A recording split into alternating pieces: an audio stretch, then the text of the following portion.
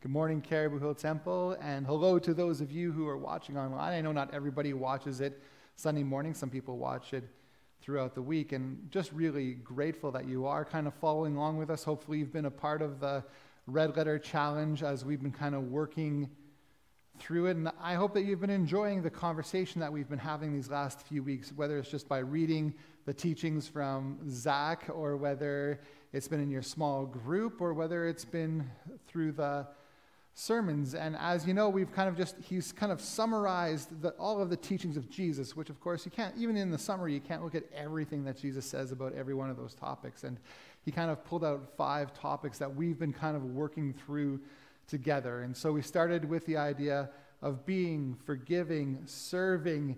This week is giving, and next week will be going. So, this topic of giving, it's often, um, you know, that, that topic that most preachers hate preaching about and most modern listening listeners hate listening to. It has um, in it all of this potential for um, misunderstanding and confusion and thinking that the church is just trying to, to gouge you and not wanting to come across that way and just all of those things. And yet, money is one of the things that Jesus spoke about all the time. He spoke about money more than he spoke about love and grace and forgiveness and even in salvation. In fact, the only other topic that even comes close or that he speaks about more is the kingdom of God. And of course, so we're, we're not going to be able to, in the next 25 minutes, touch on everything that Jesus says about money. We can't even do that in the Bible study, let alone in, you know, this little sermon that we're working through. We're going to start with this text from Matthew chapter 6, 19 to 34. He says, Do not store up for yourself treasures on earth where moths and vermin destroy and where thieves break in and steal.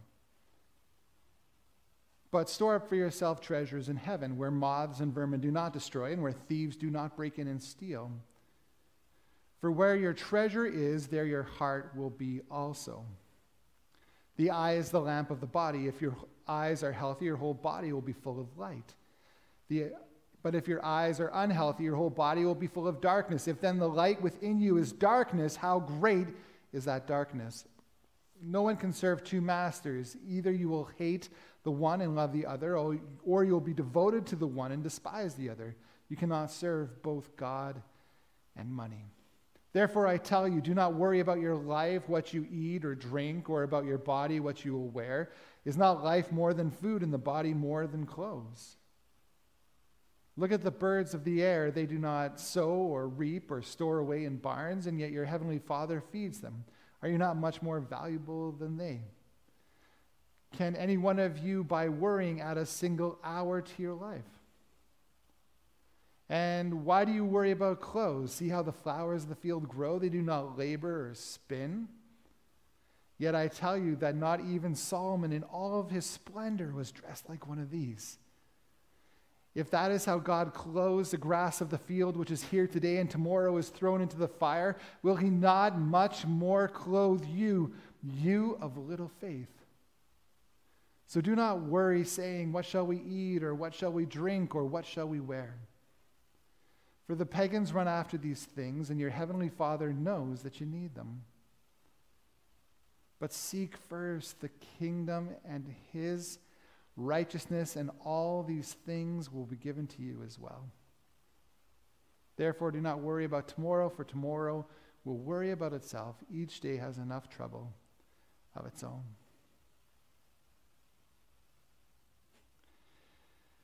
And so, the, the first thing we're just going to look at is that what we see in this text, or what we see generally in the teaching of Jesus when it comes to this idea of money and giving, is that um, he wants us to have the right heart.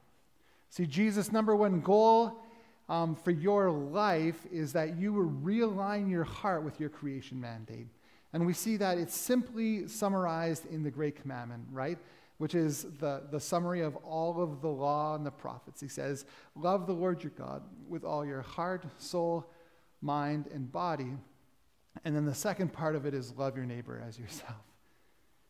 And so, really, Jesus, everything he wants is for him to say, Can your heart align to this? Can you really love God with your absolute everything? And can you look to your neighbor with this kind of desire to serve them even more than you take care of yourself. In the midst of the, the text that we read here in Matthew chapter 6, which is part of the, the Sermon on the Mount, um, Jesus gives this analogy about the eye being the lamp for the body. And if it's dark, then the, the, the eye can't see. And we, we, we know this, right? Our eyes take in the light, and with the light, we're able to distinguish what's what. And when um, that doesn't work, then we're not able to see. We, we go blind, right? And why does he kind of throw this analogy in the midst of this? And one of the reasons is that when we have an out of balance love or a dependence on money, that it's not always plain to us. We don't always see it, right? Some sins, some things that happen in our lives that we know are wrong, um, it's very clear, clear, right? Like we're like, oh, I stole that. Yeah, yeah, I guess that's wrong. Oh, you're not my wife, right? You're committing adultery. Um, but we don't always know when money has a stronghold in our life or when we're being greedy. And what's greedy except for um, a desire or a deep need for possessions, for money, for stuff? And part of the problem is the water that we swim in, right? Um, if you're living in Vancouver or the greater Vancouver area, you realize very quickly that there's just never enough money. It's a very expensive place to live, right? And it's very hard to be able to, to, to get a house or an apartment or a condo and not be um, taking a mortgage that has you way past what you're supposed to be investing in as far as your average income. And in the midst of that, you'll be around people at your kid's schoolyard or other people you interact with, and you'll always realize that there's somebody who has a bigger house or has more money or has more things than you do. And so you might in that think, well, I'm not really that wealthy because there's so many other people who are living such a better um, life when it comes to possessions, money, all of that stuff. And yet, do you know that if you make anything around 45,000 or above a year, that you are considered to be top of the 4% earners in the, in the world? The top 4%. And if you make something like $55,000, you are in the top 1 percentage of earners in the world. You are the 1%. Not only that, but in kind of the West, in North America and Canada, we're living in one of the greatest standards in all of world history. We live better than kings and queens and all the other royals used to. Just in the fact that you know, we have running water and some of us own land and just all of these things, right? These are things that, that in history just weren't true. But our heart can betray us in our quest for more and this, this need for this kind of greed that we don't actually see. But also, money can be this thing that is about security, right? Jesus says, um, don't be anxious about what you need. Don't be anxious about the food. Don't be anxious about clothes. Don't be anxious about all of those things, right?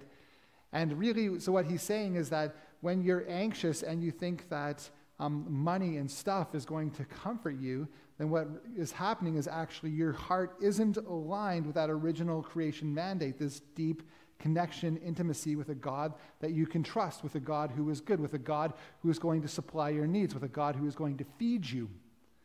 That, that there is in us this need for us to control, and that money becomes the tool with which we use to be able to do that.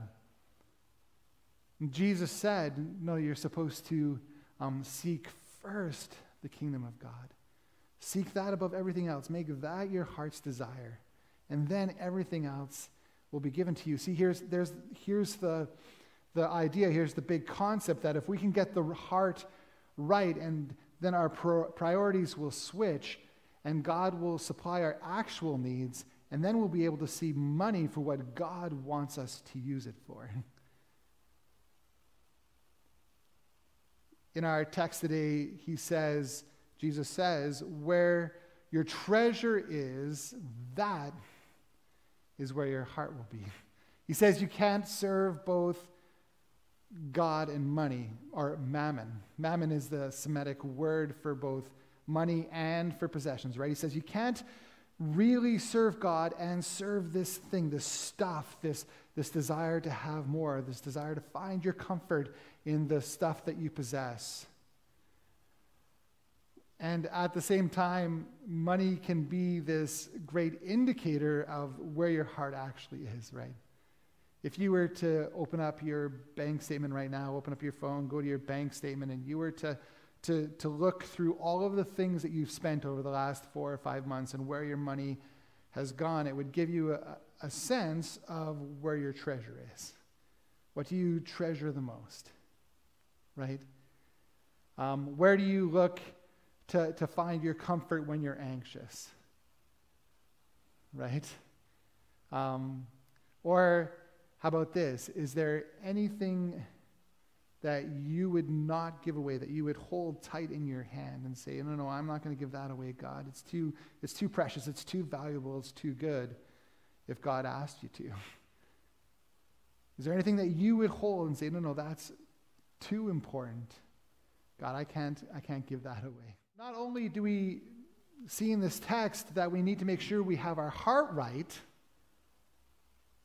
but we need to make sure that we have the right goals. You probably um, have heard the saying many, many times. I think there was a commercial for it for some video game system or something like that, where it said um, that he who dies with the most toys win, or he who dies with the most possessions wins.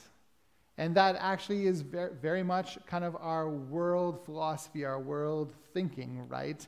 Even though we might not say toys because it seems like they're so arbitrary or unimportant, but this idea of um, accumulating wealth, accumulating stuff, and that being what helps us to see people who are prestigious, to think highly of people who have everything um, and then abundance and more. I remember when we were in our house in Langley, it was a much, much bigger house. It was newer. And what we found was that in our master bedroom, there was this huge walk in closet. Not only that, we had storage in the front of our bed, too. And there was like a place for all of these clothes. When we moved here to Burnaby. It's an older house, and we moved instead of a big walk in closet with two sides, one for each of us, we moved into a place with only two kind of small closets. And so we had to arrange them, put on an extra row so that we could get some of our stuff in. But of course, it wouldn't all fit, and so you had to get rid of it. And you start to realize that all of the clothes that we have, we don't actually need, we don't actually wear. And um, we recently moved from the top floor of our house where we had two closets, one for me, one for Debra, and into a place where we have one closet. And so again, it's like, oh man, what do we have to get rid of? And if I'm kind of perfectly honest with you, that when I look at my closet and I look at all of the shirts, all of the pants that I have there, I, I don't wear most of them. So even that, there's just a sense of like, I own this and I don't actually need it. Some of it I've never worn, probably because it was a bad choice to buy it in the first place. In Luke 12, 13 to 21, Jesus is telling this parable of a man, and he has this incredible harvest, and it's so big that he's filled up his, his silos, his kind of his buildings for holding the grain.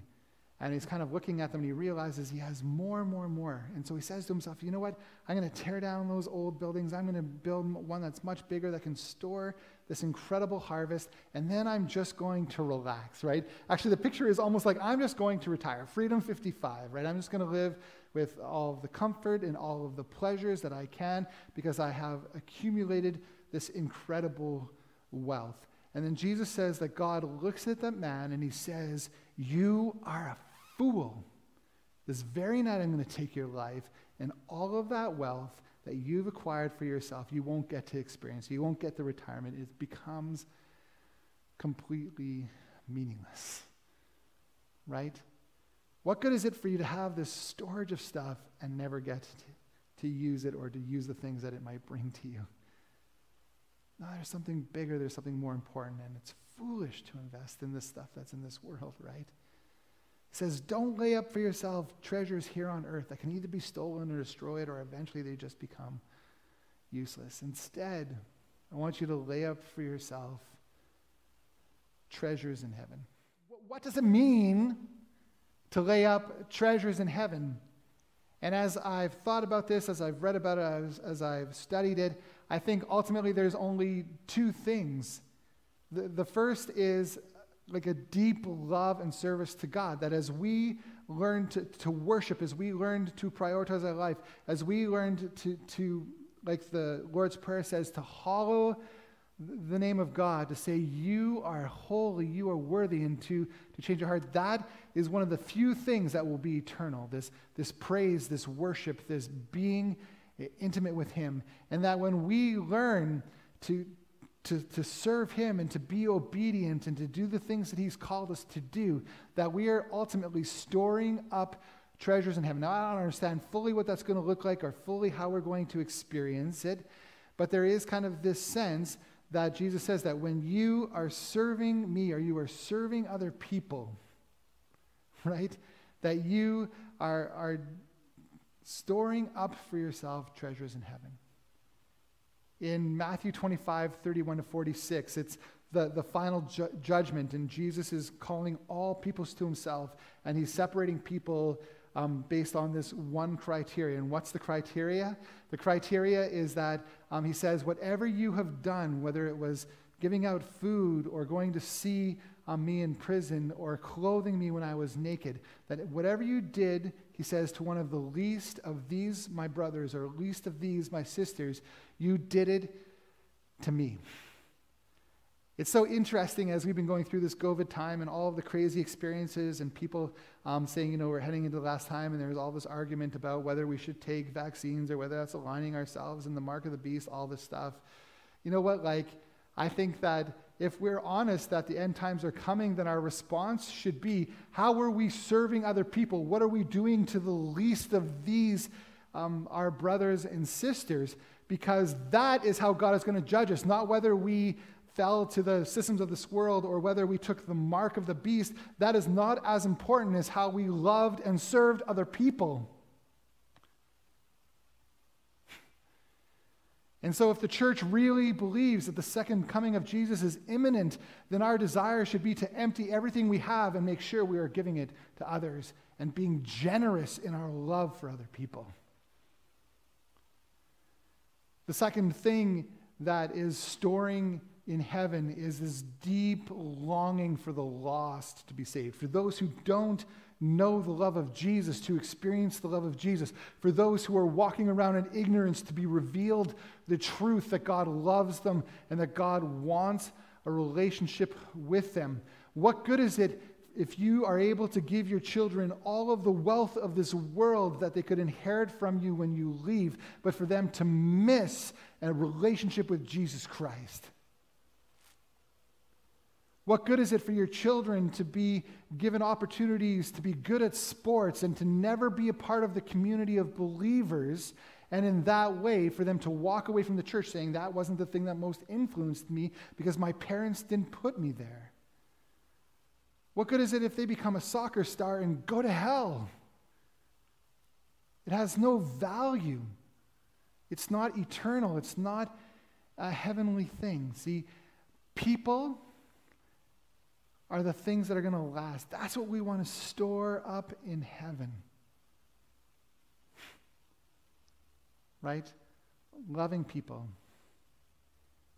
As Salvation Army, I think this, there's always this tension for us of being a people who are very generous towards other and other people are very generous towards us. The heart of our mission is always what? Salvation. Not to be known as the best charity in North America. That's garbage, it's junk. But to be known as a people who are so in love with God that we are compelled to go and to share what we have with other people. One of the warnings that Jesus gives to the religious leaders of his time, but to everybody else as well, is that it's possible for us to follow the letter of the law and to give our money, to give our tithes, and to give our offerings, and to not love God or to not have a motive that says that I want to serve other people. That we want people to say, Oh, you are so great.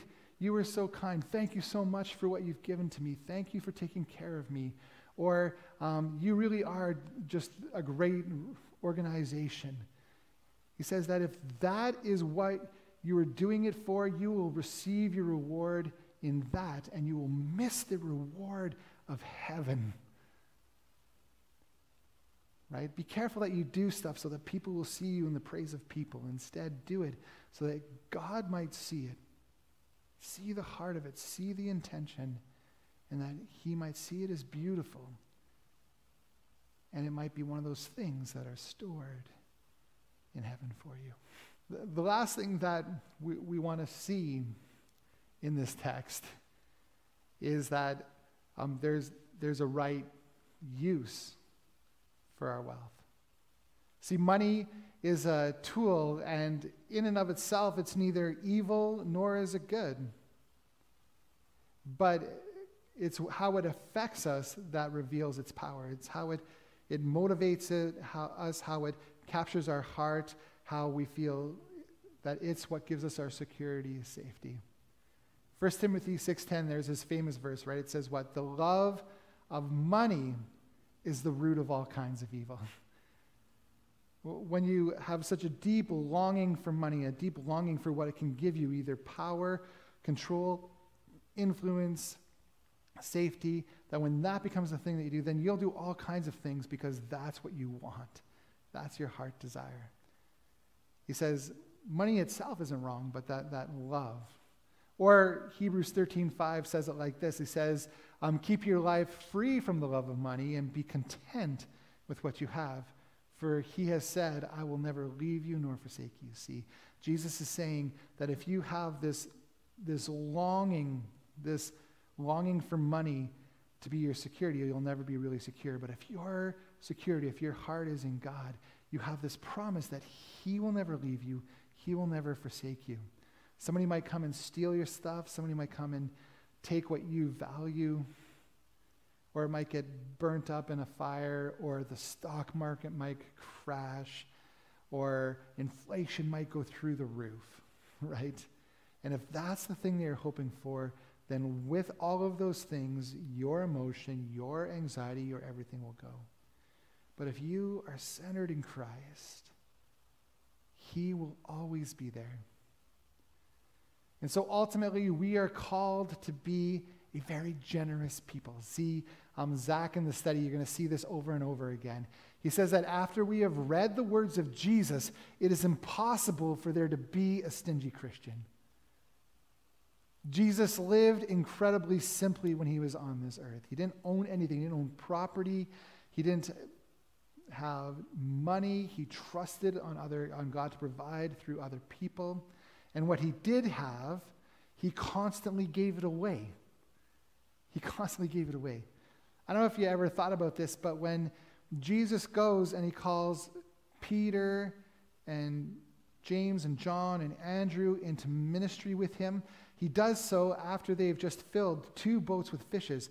For them, that would have been the biggest catch they have ever seen in their lives. That would have been an opportunity for incredible wealth, but they looked past the wealth of that moment and looked to the beauty of Jesus, and they left all of that behind and gave their lives to follow him, to never ever be rich and wealthy men. It would have been thousands, maybe hundreds of thousands of dollars there. The opportunity for them to live in comfort, maybe not even have to work for a few years. See, to them, Jesus was so much greater than all of the wealth that this world had to offer. And so they followed him. They watched how he was generous with his time, with his gifts, with the things that were given to him. And after being with Jesus for three years, watching as he poured out his life for those who were actually um, his enemies, for those who were mocking him, that he forgave them, just with this incredible generous spirit that he, that he fed, that he washed the feet of those who were going to betray him, knowing it. That just this incredible life of always pouring himself, always giving, always sacrificing, always being generous. That when the early church began to be formed, this is how they were described. We see it in Acts 4 32, 37. It says this All the believers were one in heart and mind. No one claimed that any of their possessions was their own, but they shared everything they had. With great power, the apostles continued to testify to the resurrection of the Lord Jesus. And God's grace was so powerfully at work in them all that, they were, that there were no needy persons among them. For from time to time, those who owned land or houses sold them, brought the money from the sales, and laid them at the feet of the apostles. And it was distributed to everybody who had a need.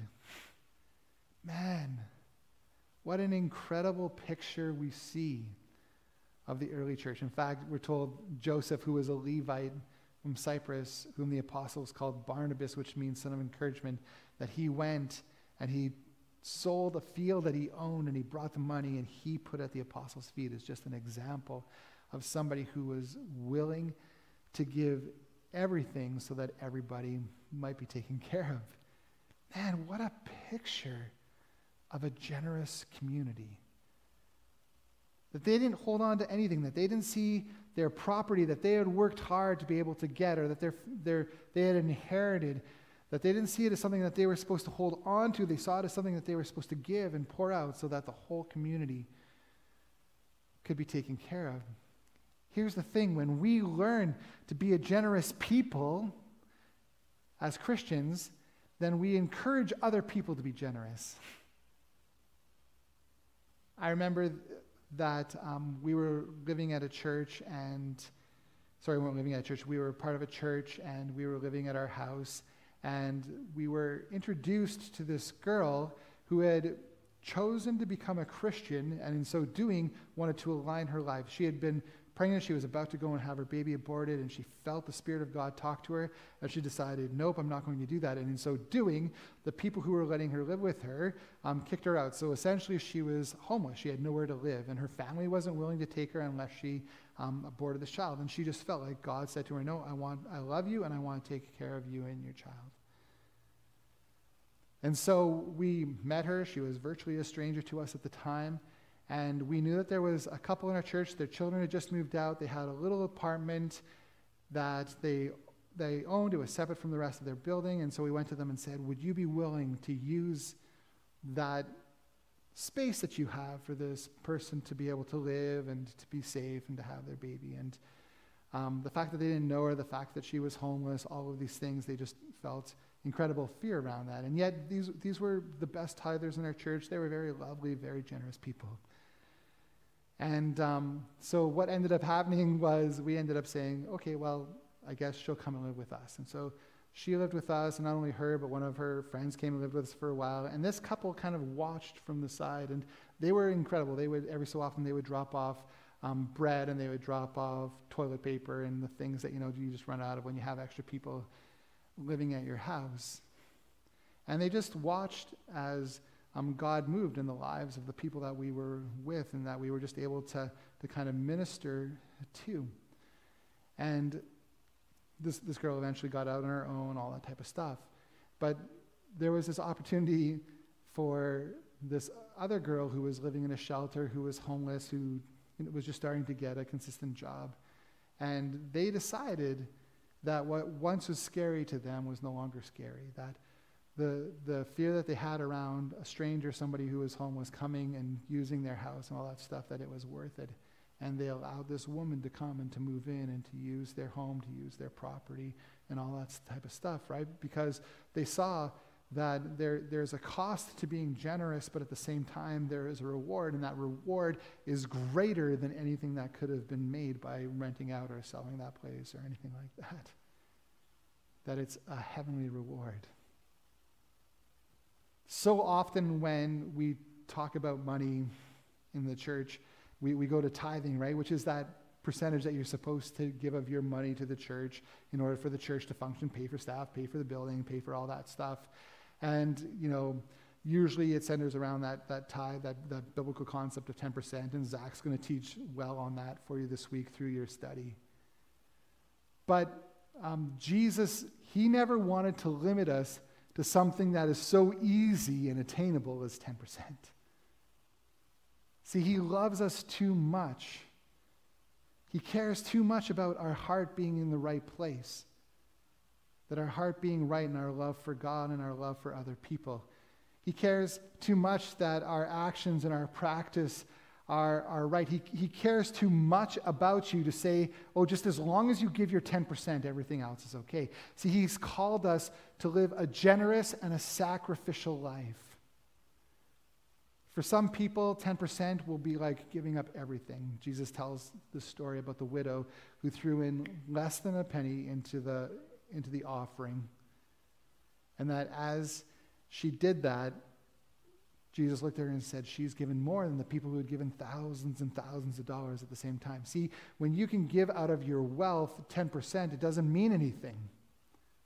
But when it's a sacrifice, when all you have is those few dollars, and you're like, okay, God, I give it to you, trusting that you'll take care of it. See, God, God sees that and He says, that's a hard. 10% for some of you is nothing.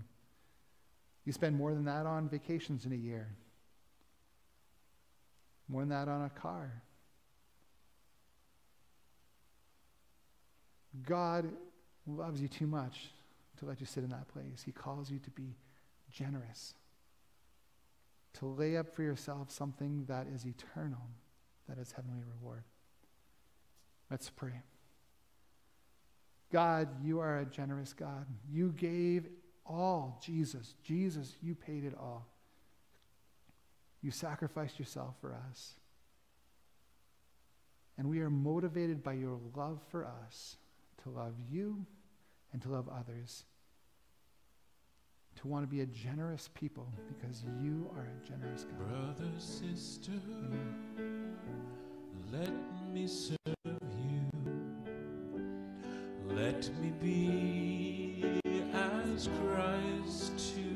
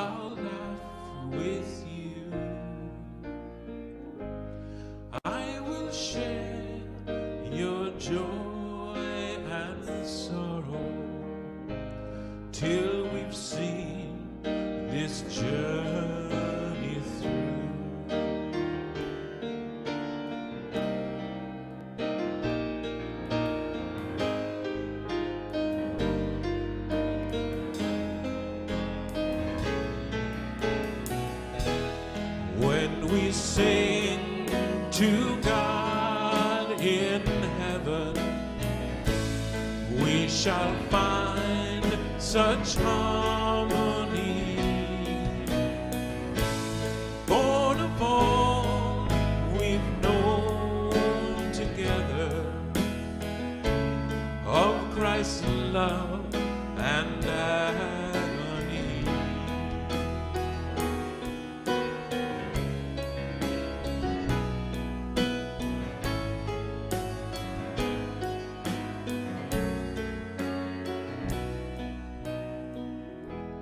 Brother, sister, let me serve you. Let me be as Christ.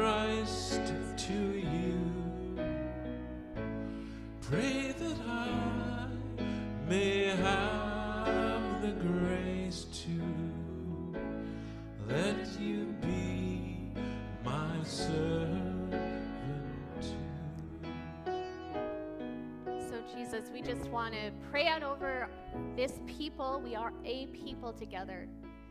We want to pray first for unity. We want to pray that you would increase our love for you.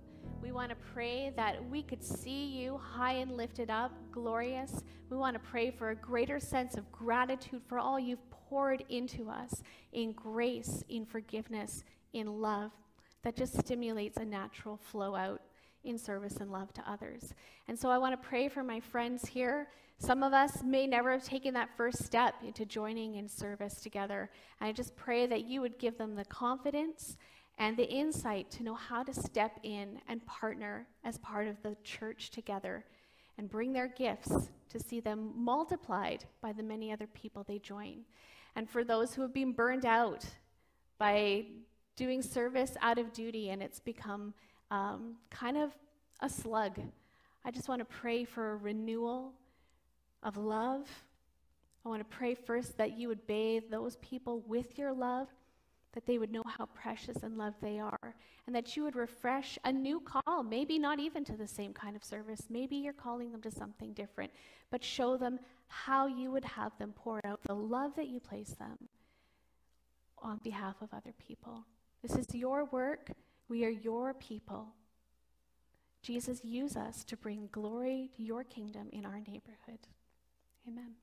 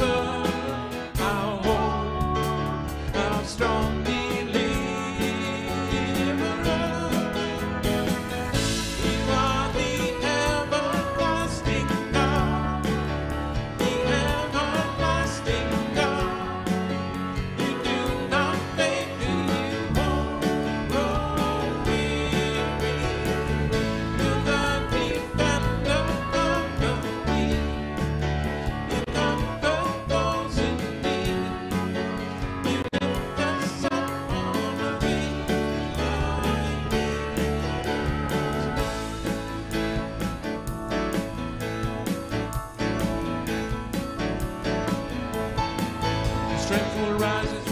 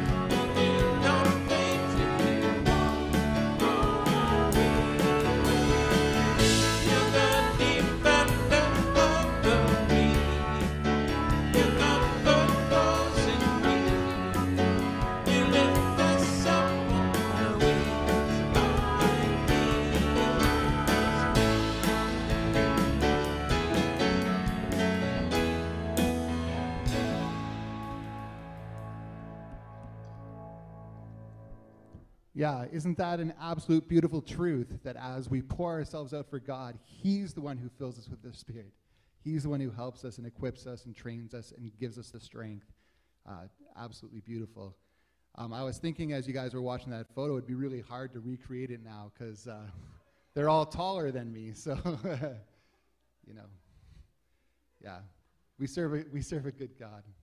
And so we want to always end by giving him praise and glory and honor. So to him who sits on the throne and to the Lamb be praise and glory and honor and power forever and ever. Amen. Amen.